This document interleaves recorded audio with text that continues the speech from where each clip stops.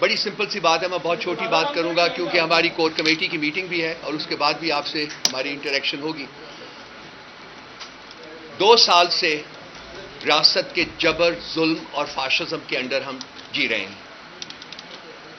ہم نے نہ صرف سروائیو کیا ہے ایز اے پولیٹیکل پارٹی بلکہ ہم اس عرصے میں اور زیادہ طاقتور ہو کے ابھرے ہیں۔ سو ان کی وہ جو امیدیں لگی ہوئی تھی جو کہ یہ پچھلے چھہتر سال سے کرتے تھے کہ پرائم منسٹرز کو کک آؤٹ کرتے تھے پرائم منسٹرز کو کک ان کرتے تھے۔ جب ان کو وہ چیز ہوتی ہوئی نظر نہیں آئی اور شاید یہ اس نتیجے کے اوپر پہنچے کہ پولیٹیکل پارٹی کو پی ٹی آئی کو اس طریقے سے ختم نہیں کیا جا سکتا، تو پھر اس کے بعد انہوں نے نو مئی کا ڈرامہ رچایا۔ اور اس نو مئی کے ڈرامے کی آڑ میں انہوں نے ہر وہ ظلم اور فستائیت روا رکھی۔ جو کہ سویلائزڈ ورلڈ میں جس کی کوئی کوئی مقام نہیں ہے اور وہ اگر کسی اور ملک میں ہو جہاں کے کانسٹیٹیوشن اور رول آف لا کا عمل دخل ہو، تو ان کے ساتھ جو عمل یا جو ان کے ساتھ برتاؤ ہوتا، میں شاید اس کو الفاظ میں بیان نہ کر سکوں۔ لیکن ایک سال تک انہوں نے وہ اپنا جو رویہ نہ صرف اس کو برقرار رکھا، بلکہ وقتاً فوقتاً اس میں زیادہ شدت بھی آتی گئی۔ آبجیکٹو ایک ہی تھا کہ الیکشن میں ہم نے پی ٹی آئی کو جیتنے نہیں دینا اور اس کو ختم کرنا ہے۔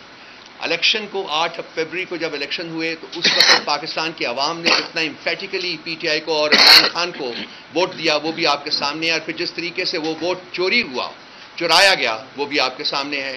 پھر اکیس اپریل کو جو ہوا، وہ بھی آپ کے سامنے ہے۔ ایسے یہ تمام جو ہتھ کنڈے تھے، ایک فستائی ریاست فستائی ریاست کے، فستائی حکومت کے، وہ انہوں نے آزما کے دیکھ لیے، لیکن پی ٹی آئی پارٹی جو تھی جیل کے باہر، وہ طاقت سے طاقتور ہوتی گئی اور جو پارٹی کا لیڈر جیل کے اندر بیٹھا ہوا ہے، وہ بھی طاقتور سے طاقتور ہوتا گیا اور اس کی پہنچ جو ہے وہ پہلے سے بہت زیادہ ہوتی گئی، اور زیادہ لوگ جو ہیں اس کے گرویدہ ہوتے گئے اور ورچولی وہ لوگوں کی دلوں میں بستا ہے۔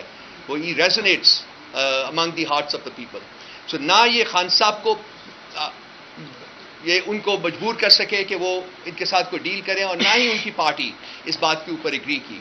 جیسا کہ میں نے دو تین دن پہلے اپنی ایک پریس کانفرنس میں کہا تھا کہ بھائی ہم نہ جھکے ہیں، نہ ہم جھکیں گے، اگر آپ ہمیں مارنا چاہتے ہیں تو مار دیں۔ تو اب ان کے پاس آپشن جیسا کہ خان صاحب نے اپنے آرٹیکل میں کہا تھا کہ ایک ہی آپشن رہ گیا ہے۔ وہ یہ ہے جی کہ ہمیں قتل کر دیں۔ خان صاحب کو یا ہمیں، وہ سب ہم ایک ہی ہیں۔ تو یہ اب اس کی طرف شاید بڑھ رہے ہیں کیونکہ اب ان کے پاس کوئی اور آپشن نہیں رہا۔ یہ ہر ہتھ کنڈا جو ہے وہ استعمال کر چکے ہوئے ہیں، لیکن پارٹی جو ہے وہ مضبوط سے مضبوط تر ہوتی جا رہی ہے۔ میں صرف in the strongest possible words جو رات کا ان کا انلیگل ایکشن ہے، اس کو کنڈیم کرنا چاہوں گا اپنے تمام دوستوں کے ساتھ۔ اور ہم ونس اگین حکومت سے مطالبہ کریں گے کہ وہ فوری طور کے اوپر جن لوگوں نے یہ جرم کیا ہے، ان کو قرار واقعی سزا دی جائے۔ یہ کہتے ہوئے مجھے اس بات کا بھی یقین ہے کہ ایسی کوئی سزا نہیں ملے گی۔ کیونکہ یہ جو جو رسپانسبلٹی الٹیمیٹ رسپانسبلٹی ہے، وہ انہی لوگوں کے اوپر عائد ہوتی ہے جو کہ اس وقت حکومت کے ممبران ہیں۔ تو یہ سب کچھ انہی کی سپرویژن میں ہو رہا ہے۔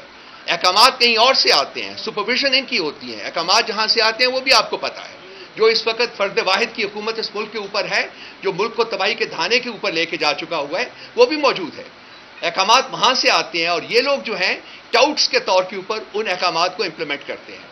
تو رات کے ایکشن کی میں اسٹرانگسٹ الفاظ میں اپنے تمام دوستوں اور بھائیوں کے ساتھ کنڈیم کروں گا اس کو اور چاہیں گے کہ فوری طور کے اوپر اس کو ریکٹیفائی کیا جائے اور جن لوگوں نے یہ کیا ہے ان کو عدالت کے کٹہرے میں لایا جائے۔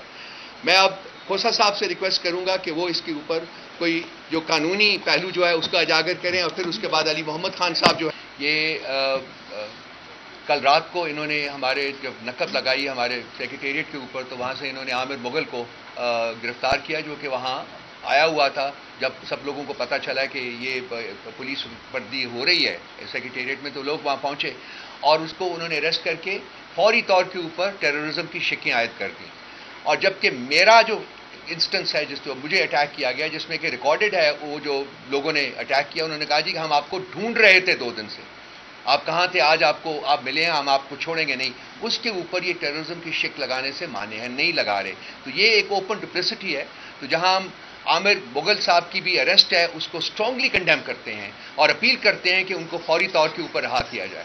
علی محمد خان صاحب۔